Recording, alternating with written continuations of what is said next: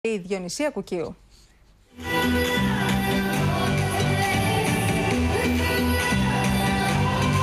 Πάνω σε γνωστές φυσιογνωμίες έπεσε στην Πάτρα ο ρεπόρτερ Τσίλι. Να πω ανάμεσα σε δύο άλλε κυρίες. Από την Πάτρα τα κορίτσια έδωσαν τέλος στη φήμη ότι είναι στα μαχαίρια.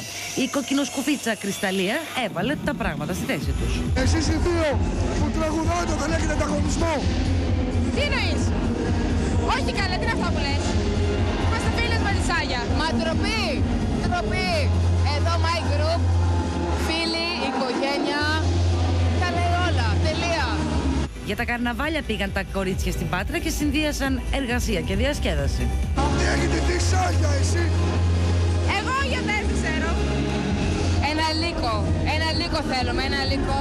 Έρχεται σε λίγο, έρχεται. Και μια γιαγιά. Ζωγράφισέ μου τα αστέρια Αυτό ε Και κύκλωσέ μου εκείνο που θα ζήσουμε εμείς Να με κρατάς από τα χέρια Η Ντέμι κυρίες και κύριοι δηλώνει ελεύθερη και ωραία. Έχεις χρόνο εσύ να είσαι με κάποιον; Αν είσαι ελεύθερη. Ακριβώς όπως το είπες. Είσαι ελεύθερη. Κοιτάξτε εδώ το κορίτσι. Σαν τα κρύα τα νερά που είναι ελεύθερο. Δηλαδή είναι δυνατό.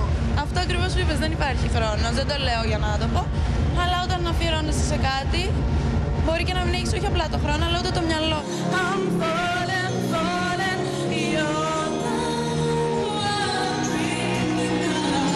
Στο ίδιο πάρτι συναντήσαμε και μια σταρελάς από τα παλιά, την Διονυσία Κουκίου, που κάναμε μαύρα μάτια να τη δούμε. Δεν βλέπεις τι γίνεται τόσες μέρες που είσαι εδώ; Εγώ βλέπω να θέλω να το πεις εσύ. Με έχετε στραβώσει το μεταξύ με αυτό το φως. Δεν μπορεί τη λάμψη. Βλέπετε το κορίτσι είναι από την Πάτρα και βρέθηκε στην πόλη και αυτή για το καρναβάλι. Εγώ μόλις ήρθα από την Αθήνα γιατί δεν μπορούσα να το χάσω αυτό. Είναι τέλεια εδώ. Οι κυρίες διασκέδαζαν με την ψυχή τους το τρίμερο στην Πάτρα και έδωσαν ραντεβού για το επόμενο καρναβάλι.